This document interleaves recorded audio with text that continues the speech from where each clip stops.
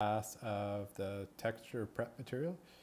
And I think uh, like I showed you guys how to uh, get the, the tail end and also the wings, almost said feather.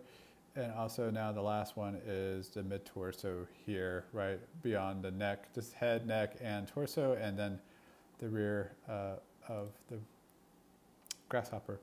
So I just did a real quick uh, grab of that, and this has got part of our leg indentation. I'm going to wanna go up a little bit bigger with that, and we're just uh, taking that uh, base layer out. So we have an alpha channel, and again, using our same techniques that we've used before.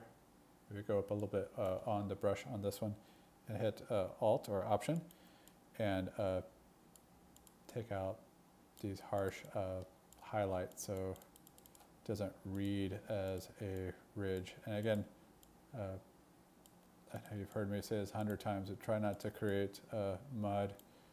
Try to create a nice line here, or delete the line without having so much of these hard ridge lines.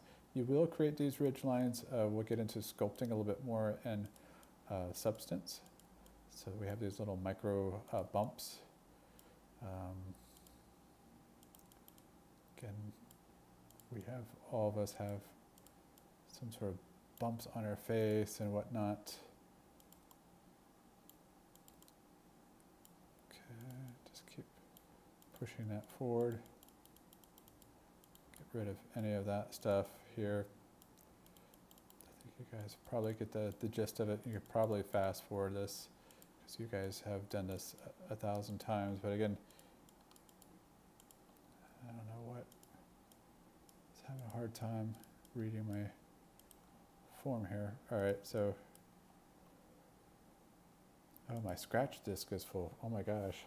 All right, so I think I'm gonna stop here because I don't wanna fill out any more of my uh, computer before it crashes. So I wanna stop here. Anyways, uh, get rid of all your ridge lines and save it as a PS, PSD. All right, good luck with this, guys, and I'm sorry uh, my scratch disk is full.